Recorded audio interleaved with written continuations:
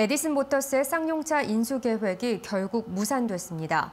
쌍용차는 즉각 새로운 인수자 찾기에 나서겠다고 밝혔는데요. 상장 폐지를 피하기 위한 절차에도 착수합니다. 보도에 성주원 기자입니다.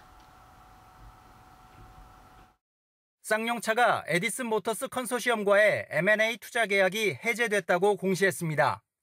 에디슨 모터스 측이 지난 25일까지 인수대금 잔금 2,743억 원을 납입하지 못하면서 계약 내용에 따라 자동 해제된 겁니다. 계약 체결일인 지난 1월 10일 이후 78일 만입니다.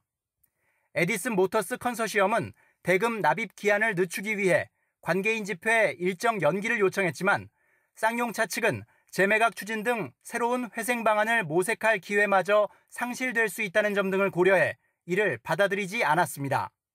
쌍용차는 곧바로 새로운 인수자 물색에 착수하기로 했습니다.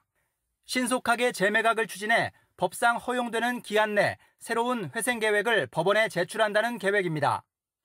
일각에서는 이전 입찰에서 에디슨 모터스만큼 적극적인 인수 후보가 없었다는 점에서 또 다른 인수자를 찾기가 쉽지 않을 것이라는 부정적인 관측도 나옵니다.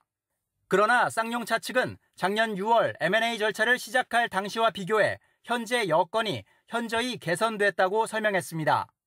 개발 여부가 불확실했던 J100의 개발이 완료돼 오는 6월 말 출시를 앞두고 있고 중국 BYD와의 전략적 제휴를 통해 내년 하반기 전기차 U100을 출시하는 등의 구체적인 실행 방안이 추진되고 있다는 겁니다.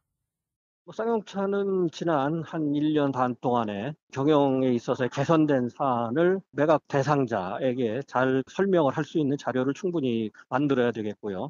또 차기 정부로서는 이 쌍용차 매각이 산업정책에 있어서의 첫 번째 시험대라는 점을 유념해서 정부의 지원 정책도 뭐 신중히 고려해 볼 필요가 있다고도 보겠습니다. 자본 잠식에 빠져 상장 폐지 절차에 돌입한 쌍용차는 다음 달 14일까지 개선 기간을 부여받은 상태. 2021년도 감사 보고서 역시 의견 거절을 받을 것으로 예상됩니다. 재매각까지 최소 수개월이 더 필요한 쌍용차가 당장 상장 폐지를 피하기 위해서는 개선 기간 안에 회계법인의 재감사 의견서, 회생법원의 법정관리 기간 연장 결정 등이 필요합니다. 이데일리 TV 성주원입니다.